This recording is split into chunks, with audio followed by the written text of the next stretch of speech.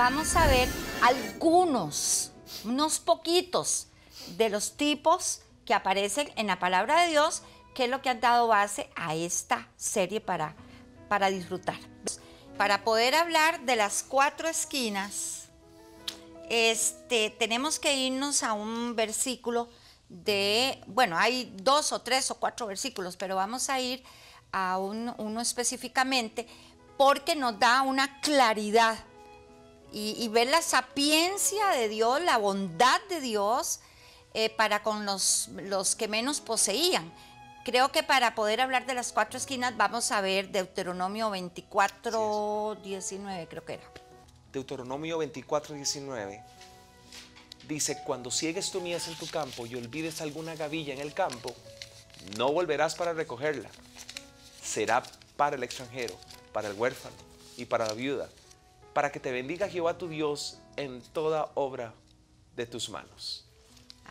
Desde ya, si usted lo está oliendo bien, habla sobre una ley que es importantísima para el Eterno, que hasta el día de hoy no ha sido erradicada, y es la ley de la siembra y, la, cosecha. Es interesantísimo porque el patrón lo puso el Eterno desde Génesis. Exacto. Adán le dijo, todo esto es para usted, pero solamente de un árbol no vas a poder tomar.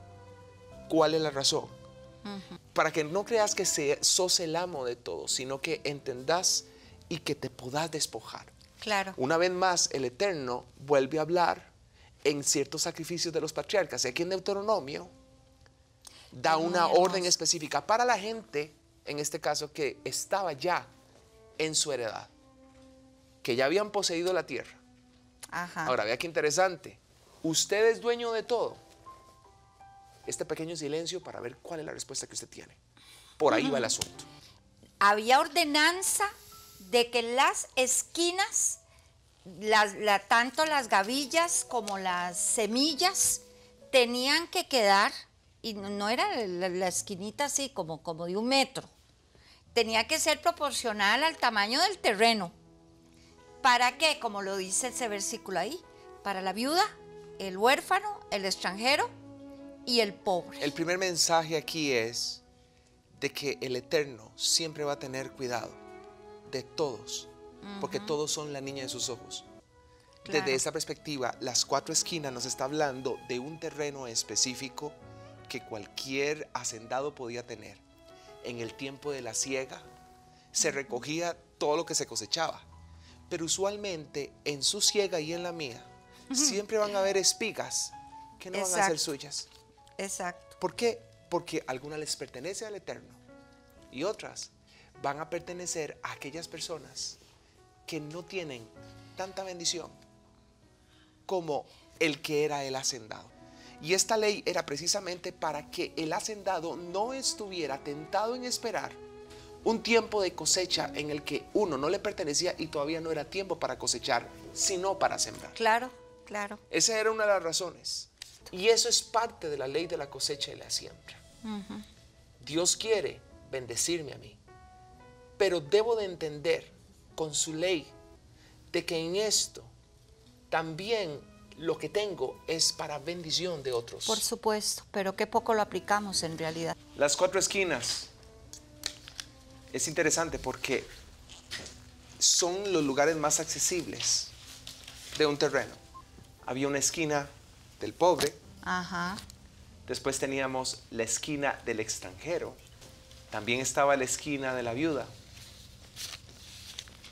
Y estaba la esquina del huérfano. Eso tenía que quedar con gavillas, con espigas, con semillas, lo que fuera. Tenía que, por, por mandato del Señor y para... Por... No, no por un aspecto de descuido, Exacto. sino por un aspecto consciente. Lo que significa que el acceso de la gracia, el acceso del secreto, el acceso de la bendición, el acceso de la consolación está a la mano. Exactamente. Es accesible para Tenía que ser así. Y es accesible para mí. Por lo tanto, se consideraba esta ley en función de que pudiera comenzar, pudiera formar sentir calor, sentir calor en ser una parte tierra extraña. de casa. Y es importante que estemos repasando eso. Había que activar la ley de la siembra y la cosecha. Usted va a poder verlo en 2 Corintios 9:6 y en Proverbios 11, 24. Esto para que el hacendado no cayera en la tentación de la codicia. Importante por eso es activar la ley de la siembra y la cosecha, para que entendamos de que lo que es dado a nosotros no solamente es por nuestro esfuerzo, sino también por gracia del Eterno. Y por lo tanto, lo que por gracia recibimos, así también podemos darlo. Entendamos lo siguiente, ¿qué es lo que usted entrega? Usted entrega amor, usted entrega conocimiento, usted entrega esfuerzo, hace una serie de ofrendas.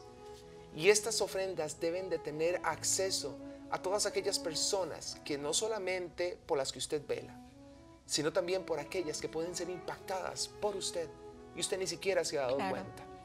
La ley de la siembra y la cosecha, le voy a dar otro, otro enfoque.